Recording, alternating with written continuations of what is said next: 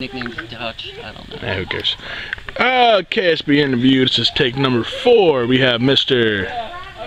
I'm Anthony Clade. And who do you play, Anthony? Play Steve Dutchman, aka Dutch. AKA Pube Face.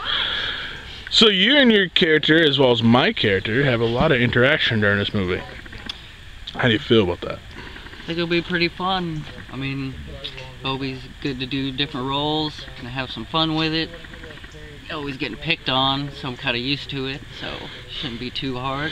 So you say you think you and your character have a lot in common? Probably, except for the stumbling and stuttering a lot. Not really my thing, but gonna get used to it. So, with this, with the differences in your character, do you think it's easier to play or more difficult to play?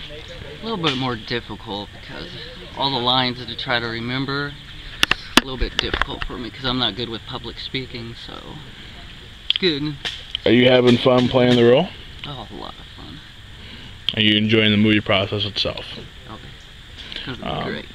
Outside of actual shooting scenes and just the hangout when we're you know in between scenes, how how would you uh, how how would you how would you explain to the people watching in case they want to give us a try? Well, I mean, if you like having fun, comedy with it, reading a few lines, you like doing makeup and having stuff put on, I mean, it's a lot funner and a lot easier than you think. Should, if you want to try it, you should. On a scale of one to ten, how do you rate your overall movie process? My process?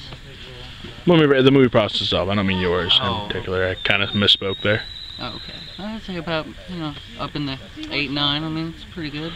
Enjoying the script? Yeah, I like it. I like the script so far. It's pretty funny.